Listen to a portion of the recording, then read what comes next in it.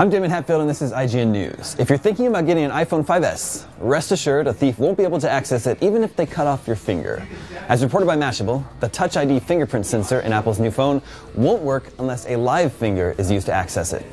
Sebastian Taveau, CTO of Validity Sensors, says the RF capacitive sensor technology is built in a way that the fingerprint image has to be taken from a live finger.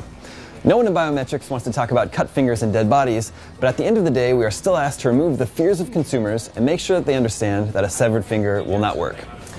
Taveau added that the technology Apple is using in Touch ID isn't necessarily new, but explains the big difference is that they made it cool. It's been around on laptops, but besides locking and unlocking your laptop, there was not much of a use case for it.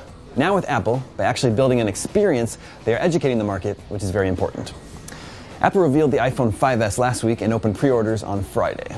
For all your tech news, stay tuned IGN.